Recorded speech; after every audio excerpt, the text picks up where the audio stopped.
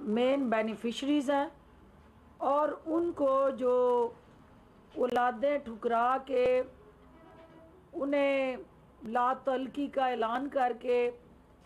उन बुज़ुर्गों को सड़कों पे हॉस्पिटल्स में, चुराहों पे पार्क्स में फेंक आते हैं। उनको सहारा देने के लिए, छत फ्राहम करने के लिए उनको वो तमाम बुनियादी सहूलतें दस्तियाब बनाने के लिए सियालकोट में इस मंसूबे का 2013 से आगाज़ किया गया और ये मस्कन जो ओल्ड एज होम है, ये ख़वातीन और मर्द हजरात को हर तरह के जो बुनियादी उनके हकूक़ हैं, उनके तहफ़ का अमीन बना हुआ है। एक तरफ़ ये मस्कन है जो शेल्टर, साइबान और साया बना हुआ है दुखी इंसानियत के लिए। तो दूसरी तरफ़ आज, जैसा कि आप जानते हैं कि एक गड़ी खुदा बख्श में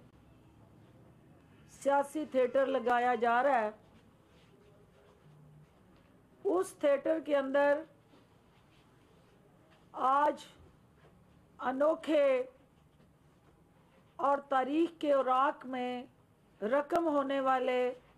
वाक़ात रूनमा होने जा रहे हैं। क्योंकि इमरान खान साहब का चोरों के टब्बर को एन आर ओ ना देने का जो मज़बूत बयानिया था, उसके मुस्बत असरात सामने आना शुरू हो गए हैं। और ये वो मज़बूत बयानिए के असरात हैं कि तमाम मुखालफन जो इमरान खान के, पाकिस्तान के अदारों के, पाकिस्तान की कौमी सलामती के, पाकिस्तान के कौमी मफाद के और आवाम के वो एक छतरी के नीचे इकट्ठे हो के आज एक दफ़ा फिर एक दूसरे के मफादात का तहफ़ करने निकले हैं। जो आज की अहम तरीन और तारीख के औराक में लिखी जाने वाली बात है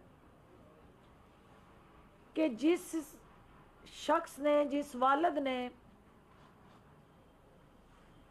गद्दार पाकिस्तान का लकब, जिस शख्सियत को दिया और मुसलसल पाकिस्तान को दो लख्त करने का अल्ज़ाम लगाता रहा जो ख़ानदान। आज उसी की बेटी जो है गड़ी खुदा बख्श में उसे कायद तस्लीम करने जा रही है। और यकीनन बेनज़ीर भुट्टो शहीद की कब्र पे खड़े होके जुल्फ़कार अली भुट्टो शहीद की कब्र पे खड़े होके गड़ी खुदा बख्श में पीएमएलएन की क्यादत और खसूस जाली राजकुमारी अपने वालद और चचा की जो स्याह कारियाँ थी,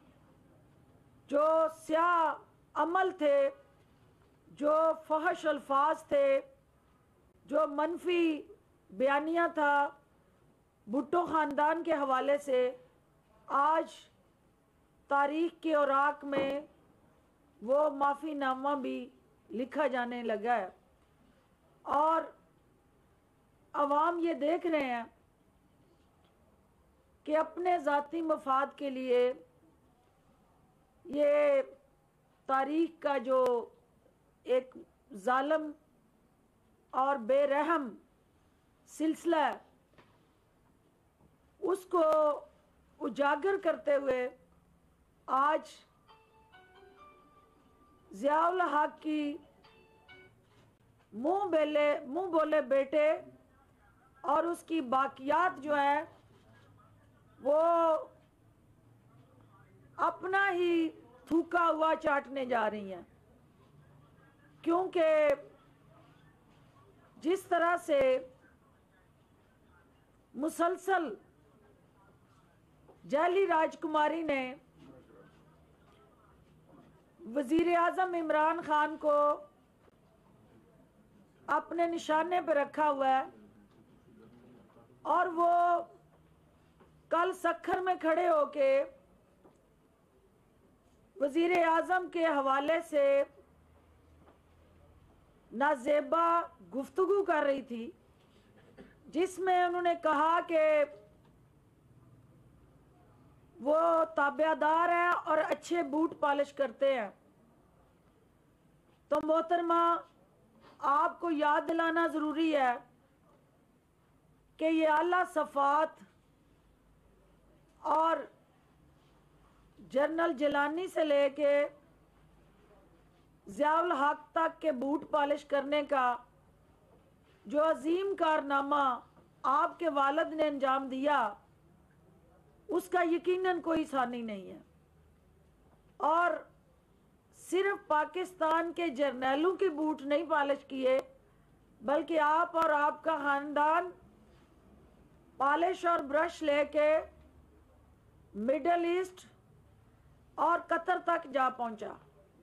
और कतरियों के बूट पॉलिश करके मशहूर ज़माना जो कतरी लेटर था, वो लिखवाने का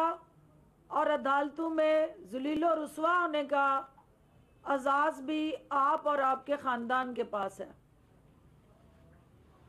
वज़ीर अजम इमरान खान की कामयाब हमत अमली से मुस्लिम लीग और जे यू आई का मुनाफकाना बयानिया जो है, उसका पोल खुल चुका है। आज के गड़ी खुदा बख्श के अंदर होने वाले इज्तम ने वज़ी अजम की 2018 अगस्त की जो तकरीर है, उस पर मोर लगा दी है कि जूं जूं एहतसाब का शिकंजा, कानून का शिकंजा, अदारों की अमलदारी, बाख्तियार होना, आयन और कानून की हुक्मरानी, रूल ऑफ़ लॉ, इंसाफ की फराहमी ये वो तमाम इकदाम जूं जूं वज़ी अजम की क्यादत में होते जाएँगे, उसी तरह से इन ख़ानदानों की चीखें जो हैं वो बुलंद होती जाएँगी और ये इकट्ठे होते जाएँगे। आज का इज्तम भी इमरान खान के उसी बयानिए की जीत है। मरियम नवाज़ साहिबा, आप की कनीज़ अव्वल जो है, उन्होंने जो इसराइल के हवाले से वजाहत पेश की, ये नाकाफ़ी है, क्योंकि ये एजाज़ भी आपके पास है कि आपने हमेशा अपने वालद के हवाले से हर वो कामयाबी, गिनवाई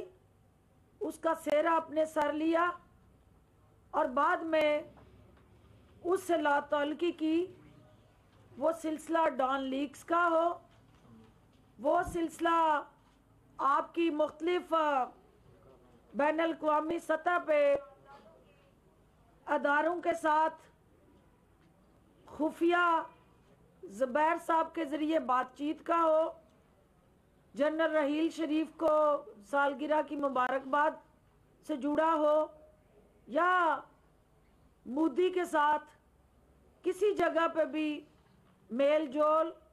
और बाहमी ताल्लुकदारी हो, आपने अदालतों में जायदाद ना होने का ज़िक्र हो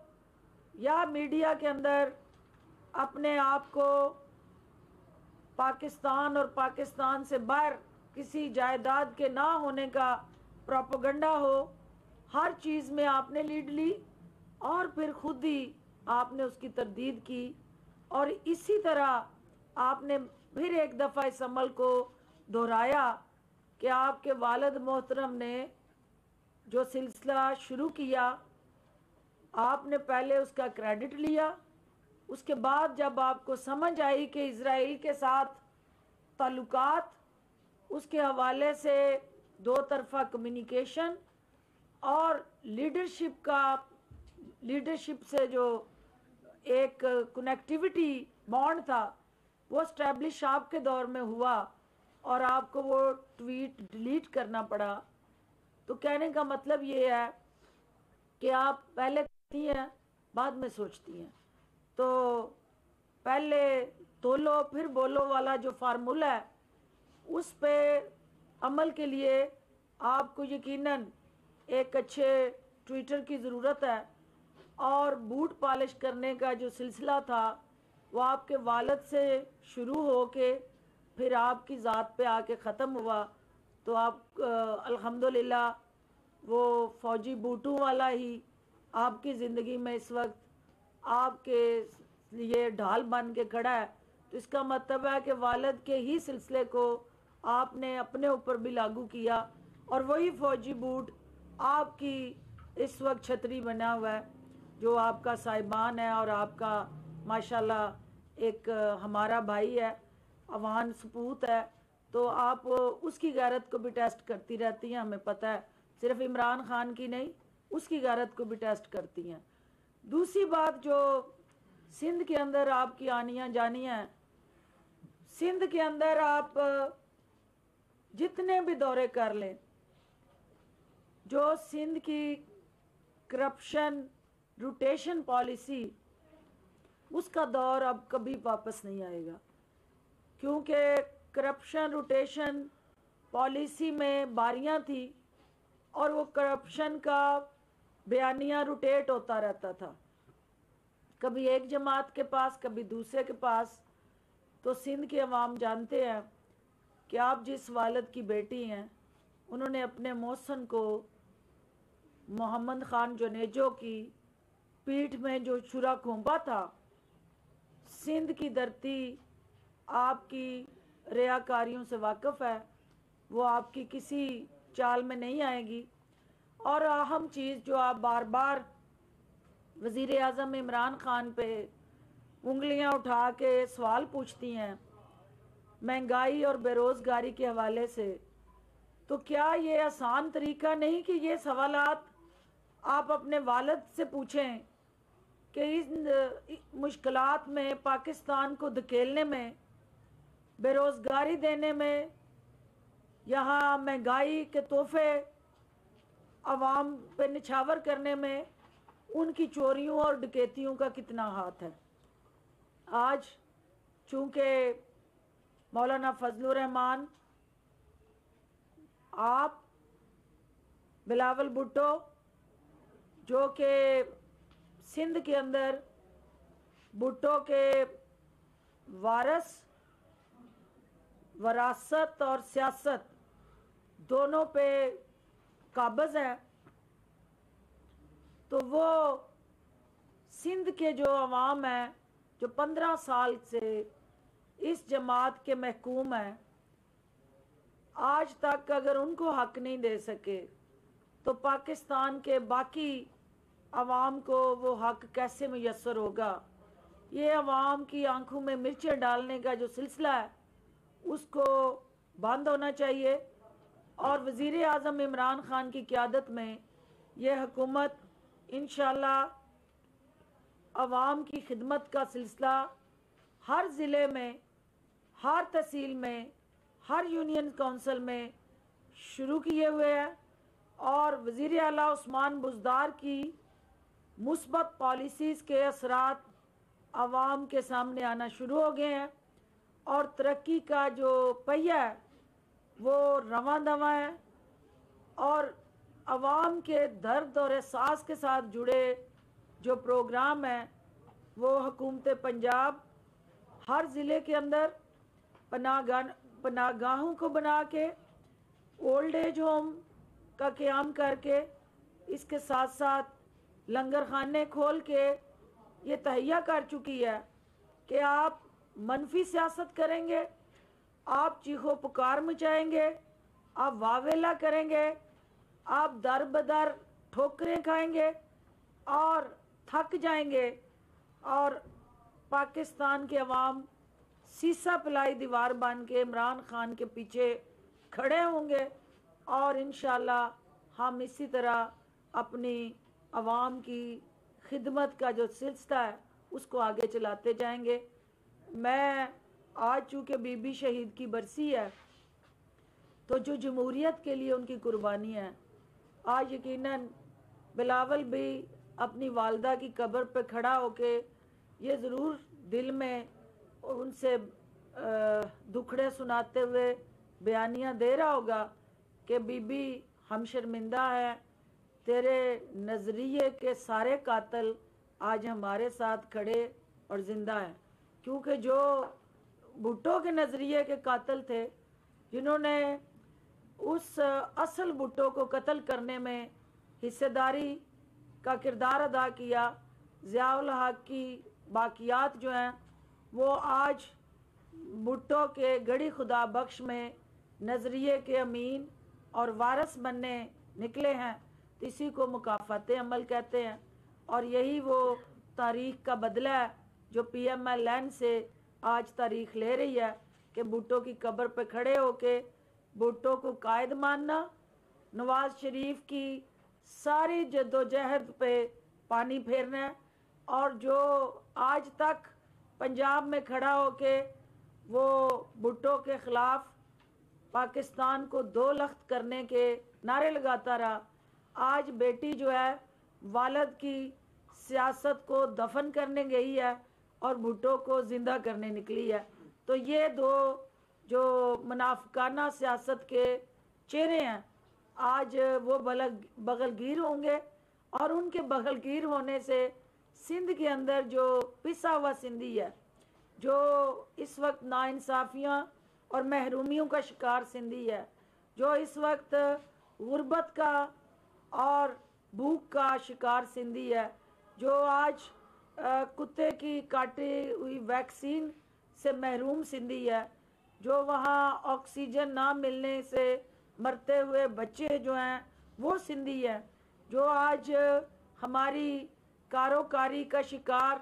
बहनें और बेटियाँ जो सिंधी हैं जो हमारा आ, हाथ में पढ़ा लिखा नौजवान डिग्रियाँ लेके